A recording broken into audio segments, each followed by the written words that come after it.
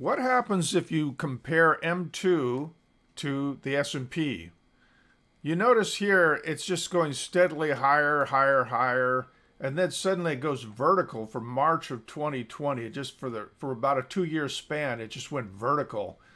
Well, that's the effect it had on the S&P. There's a direct correlation between, you know, what the Fed is juicing the market with uh, lots of money supply and the effect it had on the S&P. It, it just went up. Now, here's the interesting thing. M2 has actually been going down for the last year or so, and guess what? The S&P is going down. But what I would draw your attention to is the idea that look back here in 87.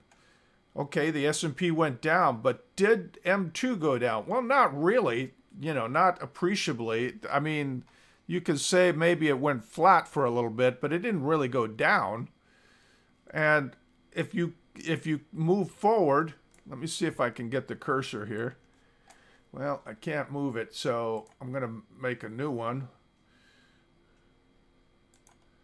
Okay, if you look at this one, um, 2001, again, you can see M2 still sort of steadily moving higher even as the stock market went down hard. And you can look here, the same thing, it just it's moving steadily higher. So this is kind of interesting because, you know, obviously it's the result of the Fed overdoing money supply, um, this huge burst of, of, of money supply, this huge spike, you know, vertical move up Never in the history have you seen it going vertical like this. So, you know, it stands to reason that, yeah, they need to do QT.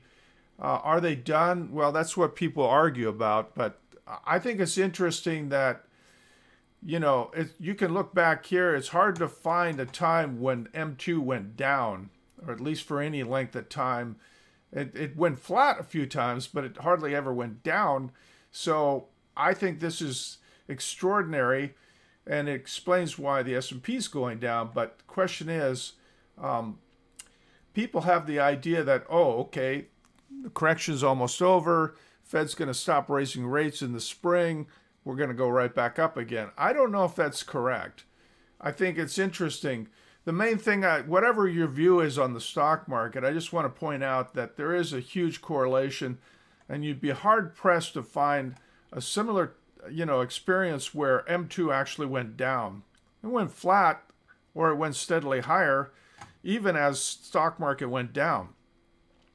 So I like it. I, I think this is a neat chart, and uh, you know, um, let's let's follow M2. Let's see what happens.